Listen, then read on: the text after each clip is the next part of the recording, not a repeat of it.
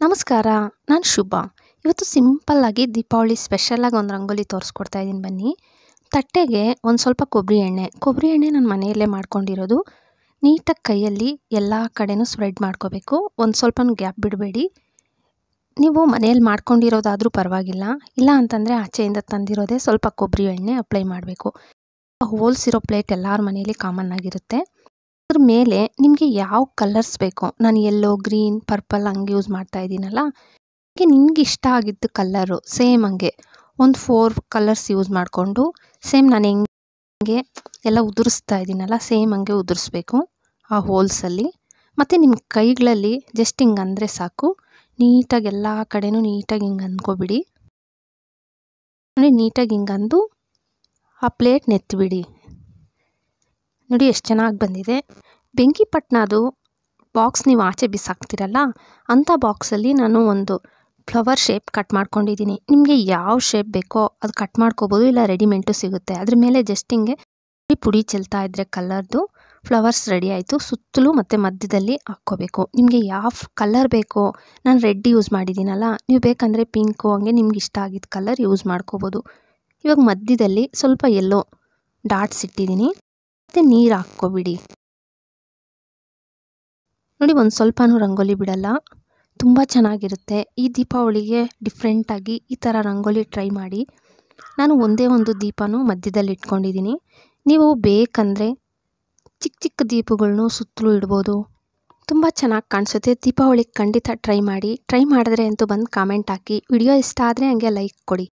ಒಂದು waste box ತಗೊಂಡಿದ್ದೀನಿ ನಾನು ಡಬಲ್ ಟೇಪ್ ಮೆತ್ತಿಸ್ಬಿಟ್ಟು ಮೇಲೆ ಇರೋದು ತೆಗೆದುಬಿಟ್ಟಿದ್ದೀನಿ ದಾರಗಳು, ನಾವು ಬಾಕ್ಸಲ್ಲಿ ಹೆಂಗಂದ್ರೆ ಹಂಗೆ ಇಡ್ತೀವಲ್ಲ, ನೀಟಾಗಿ ಅರೇಂಜ್ ನೀವು ಫ್ರೀ ಆಗಿದ್ದಾಗ ಈ ಥರ ನೀಟಾಗಿ ಅರೇಂಜ್ ಮಾಡ್ಕೊಳ್ಳಿ.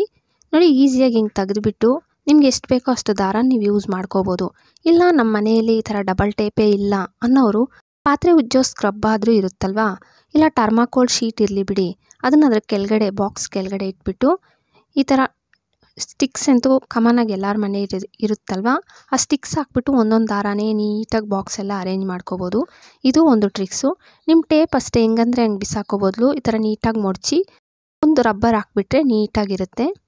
ಮತ್ತು ಬಟನ್ಸು ನಾವು ಅಲ್ಲಿ ಇಲ್ಲಿ ಬಿಸಾಕ್ಬಿಡ್ತೀವಿ. ಬಟನ್ಸ್ ಬೇಕಂದಾಗ ಸಿಕ್ಕಲ್ಲ.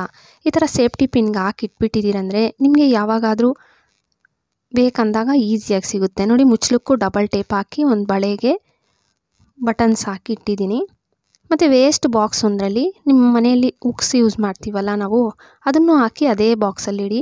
ನಮಗೆ ತಕ್ಷಣ ಬೇಕಾದಾಗ ಒಂದೇ ಬಾಕ್ಸಲ್ಲೇ ಎಲ್ಲ ಸಿಗುತ್ತೆ. ನೋಡಿ ಸೂದಿನೂ ಅಷ್ಟೇ. ಥರ ಪೆನ್ನು, ಹಳೆ ಪೆನ್ನಂತೂ ನಾವು ಬೇಡ ಅಂತ ಬಿಸಾಕ್ಬಿಡ್ತೀವಿ. ಆ ಪೆನ್ ಒಳಗಡೆಗೆ ಎಲ್ಲ ಸೂದಿನೂ ಹಾಕಿಬಿಟ್ಟು, ಒಂದು ಪೆನ್ನಲ್ಲಿ ಅದೇ ಡಬಲ್ ಟೇಪಿಂಗ್ ಮೆತ್ತಿಸ್ಬಿಟ್ಟು ಇನ್ನು ಬಾಕ್ಸ್ ಮುಚ್ಚಿಬಿಟ್ರೆ ಅಂತೂ ನಿಮಗೆ ಸೂಜಿ ಬೇಕಂದರೆ ದಾರ ಎಲ್ಲ ಒಂದೇ ಕಡೆ ಸಿಗುತ್ತೆ.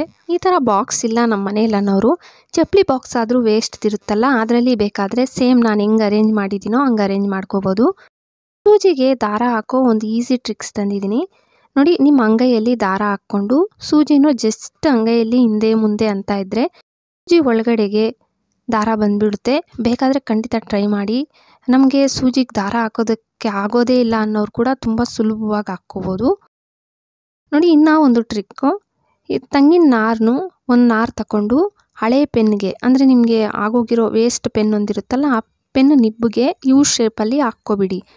ಹಾಕ್ಬಿಟ್ಟು ಪೆನ್ನಿಗೆ ಟೈಟಾಗಿ ಹಾಕ್ಕೊಬಿಟ್ಟು ಎಕ್ಸ್ಟ್ರಾ ಏನಾದರೂ ನಾರಿದ್ದರೆ ಅದನ್ನು ಸೈಡ್ಸಲ್ಲಿ ಕಟ್ ಮಾಡ್ಕೋಬಿಡಿ. ಕಟ್ ಮಾಡ್ಕೊಬಿಟ್ಟು ಇದನ್ನು ಹೆಂಗೆ ಯೂಸ್ ಮಾಡೋದು ಅಂತ ತೋರಿಸ್ಕೊಡ್ತೀನಿ ನೋಡಿ.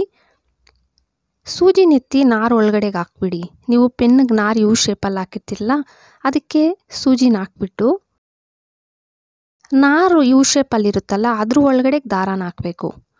ನೋಡಿ, ನಾರು ಒಳಗಡೆಗೆ ಹಾಕಿದ್ದೀನಿ ಇವಾಗ ಜಸ್ಟ್ ಸೂಜಿ ನಿಂಗಂದರೆ ಸಾಕು. ದಾರ ಆಟೋಮೆಟಿಕ್ಕಾಗಿ ನೋಡಿ, ದಾರದೊಳಗಡೆಗೆ ಬಂದುಬಿಡ್ತು. ತುಂಬಾ ಈಸಿ. ಈ ಥರ ಪೆನ್ನಂತೂ ಮಾಡಿ ಇಟ್ಕೊಬಿಟ್ರೆ ನಿಮಗೆ ಯಾವಾಗ ಬೇಕಂದರೂ ಯೂಸ್ ಮಾಡ್ಕೋಬೋದು. ಸೂಜಿಗೆ ದಾರ ಹಾಕೋದು ಕಷ್ಟನೇ ಆಗಲ್ಲ. ಈ ಥರ ಪೆನ್ ಮಾಡಿ ಇಟ್ಕೊಬಿಡಿ ವೇಸ್ಟ್ ಪೆನ್ ಬಿಸಾಕೋ ಬದಲು. ವಿಡಿಯೋ ಇಷ್ಟ ಆದರೆ ಅಂತೂ ಪ್ಲೀಸ್ ಒಂದು ಲೈಕ್ ಕೊಡಿ, ಹಂಗೆ ಸಬ್ಸ್ಕ್ರೈಬ್ ಮಾಡ್ಕೊಳ್ಳಿ. ನಿಮ್ಮ ಫ್ಯಾಮ್ಲಿ ಫ್ರೆಂಡ್ಸ್ಗೆ ಶೇರ್ ಮಾಡಿ. Thank you friends